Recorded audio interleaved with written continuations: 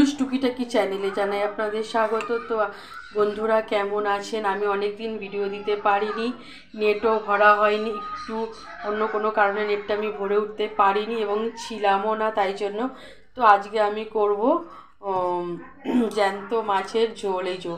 জ্যান্ত মাছ নিয়ে এসেছি, আর তার সঙ্গে আমার এই যে কাঁচা কলা এরকম লম্বা লম্বা করে কাটা আছে আলুও এরকম লম্বা লম্বা করে কেটে নিয়েছি। তো চলুন আমি কীভাবে এই জ্যান্ত মাছের ঝোল করব, আপনারা দেখতে হলে আমার সঙ্গে থাকুন। আর আমার মশলা আছে একটু টমেটো আর একটু জিরে বাটা। তো চলুন আমি রান্নাটা সেরে ফেলি এবং মাছগুলোকেও ভেজে ফেলি। আমি গ্যাস ধরিয়ে ফেলেছি। তো কড়াটা বসিয়ে দিলাম। কড়াটা পরিষ্কার করা হয়নি, আমি সকালে আলু ভেজেছিলাম। তো চলুন আমি এর মধ্যে এবারে তেল ঢেলে নিই। মাছে নুন, হলুদ মাখিয়ে নিয়েছি। এবারে আমার কড়াতে তেলও গরম হয়ে গেছে দেখুন ধোঁয়া উঠছে। তো চলুন মাছগুলোকে আমি একে একে দিতে থাকি। কাঁচা কলা দিয়ে মাছের ঝোল খেতে খুব ভালো, শরীরের পক্ষেও ভালো, পেটের পক্ষেও ভালো। তো চলুন আমি মাছগুলোকে ভেজে নিই কড়া করে একদম। আর একটা কথা বন্ধুরা এই যে ভিডিও আমরা করি, কি জানি, কবে সফলতা পাবো জানি না। তবুও চেষ্টায় চালিয়ে যাই। বা না কষ্ট করলে কেষ্ট মেলে। তো দেখাই যা করতেই থাকি, ভিডিও ছাড়তেই থাকি, একদিন না একদিন সফল হব। তো এই নিয়ে সবাই আপনারা ভিডিও করতে থাকবেন, কেউ আশা ছাড়বেন না। সবাই সবার পাশে থাকবেন। আমিও সময় করে যারা, যাদের সঙ্গে আমি বন্ধুত্ব করেছি তাদের ভিডিও আমি সবারই দেখে দিই এবং নেট না ভরার কারণে আমি কিছু কিছু ভিডিওগুলো দেখতে পাচ্ছি না। তবু শর্টসগুলো দেখে দিচ্ছি। আর আমি নেটটা ভরবো রবিবারে, তখন আমি আপনাদের সবার ভিডিওগুলো দেখে নেব। চলুন মাছগুলো ভাজা হতে থাকুক। আর বন্ধুরা, ভালো লাগলে প্লিজ লাইক শেয়ার সাবস্ক্রাইব করতে ভুলবেন না। কাঁচা কলা দিয়ে পাতলা ঝোল আমি কেমন করি তো আপনারা দেখতে থাকুন। মাছগুলোকে লাল লাল করে ভেজে নিয়েছি। এবার যেইটুকু তেল এক্সেস ছিল, তার মধ্যে আমি কাঁচা কলা, আলুটা ভেজে নেব। একটু কাঁচা কলা, আলুটা একটু কমিয়ে নিলাম রাত্রেবেলা। ওই বাড়ি নেমন্তন্ন আছে, তাই জন্য একবেলার জন্য অল্প একটু করে রান্না করে নিচ্ছি।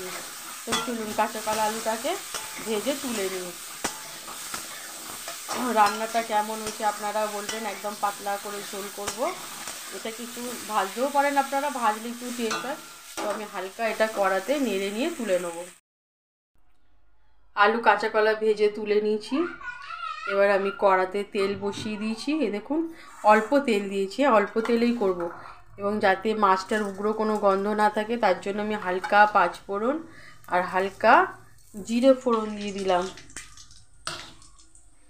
তো এবারে আমি দেব কেটে রাখা পেঁয়াজ। একটাই পেঁয়াজ দিয়েছিলাম। একটা পেঁয়াজ দিলাম, এবার এটাকে আমি একটু নেড়ে ছেড়ে ভেজে নেব, লাল করে আমি এটাকে ভেজে নেব।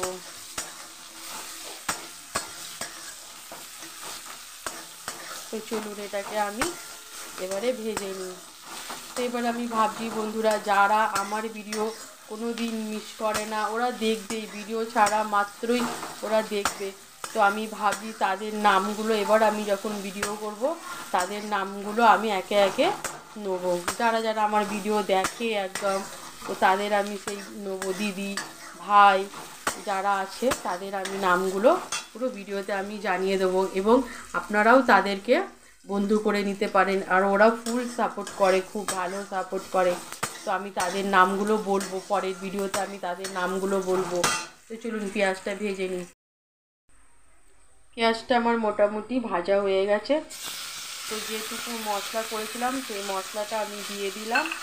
এবারে আমি দেব ধনে পাতা কুচি। ধনে পাতাটাকে আমি পুরো এর সঙ্গেই নেড়ে নেব, তাহলে একটা গন্ধ থাকে, যেরকম ভালো লাগে না। এবারে আমি দেব অল্প মশলা, তো হাফ চামচ দেবো হলুদ গুঁড়ো।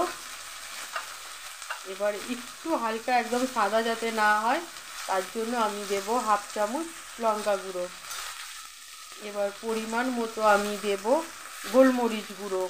এটা আমাদের শরীরে মানে ইমিউনিটি যোগায়। তো এটাকে আমি একটু নেড়ে চেড়ে নিই, একটু ফ্লেমটা কমিয়ে দিয়ে আসে। এবার আমি দেব পরিমাণ মতো নুন।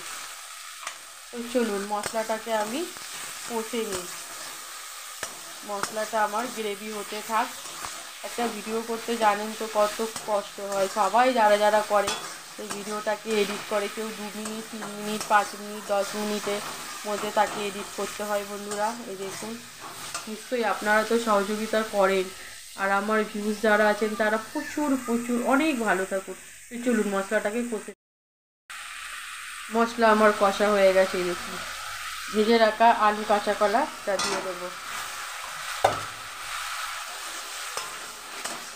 তো এরকম পাতলা করে ঝোল আপনারা যদি খেতে চান তো একবার বাড়িতে উঠি, অবশ্যই ট্রাই করে দেখবেন। একদম কম তেলে, কম মশলায় আমি করে দেখালাম। মাছ ভাজতে যা যতটুকু তেল লেগেছিলো, সেইটুকুই তেল। তো এই দেখুন, আমার কষা হয়েই গেছে। এবার আমি এতে পরিমাণ মতো জল ঢেলে দেবো। আপনারা ঠান্ডা জলও দিতে পারেন বা গরম জলও দিতে পারেন। তো চলুন আমি জলটাকে ঢালি। দেখুন। সিদ্ধ হওয়ার মতো যতটা পরিমাণে জল লাগবে, আমি ততটা জল আমি দিয়ে দিলাম। এটাকে আমি চাপা দিয়ে দিই। এই দেখুন, ঝোল আমার টকবক করে ফুটে উঠেছে। এবার আমি মাছগুলোকে দিয়ে দেব। এক বেলার মতোই করে নিলাম। তো চলুন, এটাকে এবার আমি নামিয়ে ফেলি। তো আপনারা খেয়ে দেখবেন কাঁচা কলা। আলু জিরে বাটা দিয়ে একদম পাতলা ঝোল, খুব সুস্বাদু হয়। শরীরের পক্ষেও ভালো, স্বাস্থ্যের পক্ষেও ভালো। একদম, আর পেটের পক্ষে তো ভালোই ভালো। তো চলুন এটাকে আমি নামিয়ে নিয়ে আমি দেখাচ্ছি। একদম গরম গরম ভাত দিয়ে একদম পাতলা ঝোল চলে যাবে। আমি কাঁচা কলার পাতলা ঝোল রেসিপিটা নামিয়ে ফেললাম।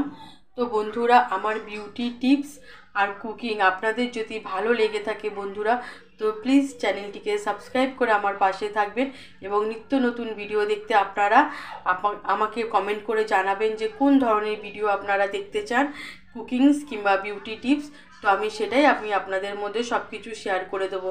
তো আর কি, আপনারা সবাই ভালো থাকুন, সুস্থ থাকুন, এই কামনা করি, আমার এই ছোট্ট চ্যানেলটিকে আপনারা প্লিজ এগিয়ে নিয়ে যেতে সাহায্য করুন, তো টাটা, জয় গুরু।